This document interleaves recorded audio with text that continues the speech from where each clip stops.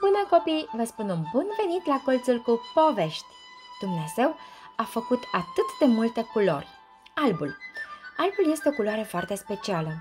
Chiar dacă nu înțelegi cum anume, știi că toate culorile provin din culoarea albă? Lumina albă ajunge la noi de la soare și este de fapt un amestec al tuturor celorlalte culori. Există foarte multe culori albe. Poți da exemple de alimente albe. Conopita este albă și la fel și fasolea albă cu bobul mic și cea cu bobul mare. Cartofii și merele au coașa colorată, doar interiorul lor este alburiu. Și laptele cu care animalele mămici își hrănesc pui este și el alb. Ce culoare au dinții cu care ne mestecăm mâncarea? Bineînțeles știm că zăpada este albă.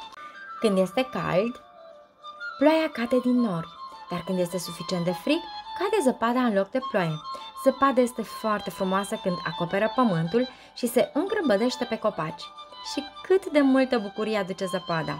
Există și pom cu scoarță albă și plaje cu nisip alb. Poți să te gândești la ceva alb pe care îl vedem de obicei în zilele însorite? Uneori, norii par un mănunchi de pene și alteori arată ca niște perne mari și frumoase. Îți place să te uiți sus la cerul albastru și să-l vezi plutind? Există și multe, foarte multe flori.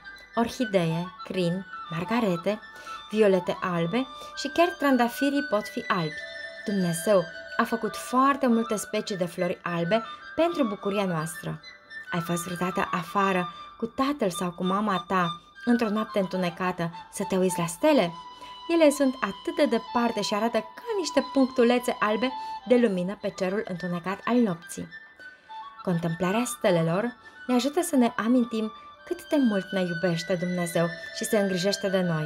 Dacă El poate face toate acele stele și să le mențină mersul, atunci ar trebui să fim siguri că El este suficient de măreț și de puternic ca să aibă grijă de tot ce avem nevoie. Fiți binecuvântați! Domnul cu voi!